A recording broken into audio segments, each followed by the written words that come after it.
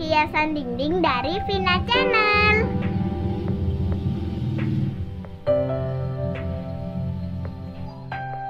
Oke guys, pertama-tama kita lipat kayak begini dulu ya.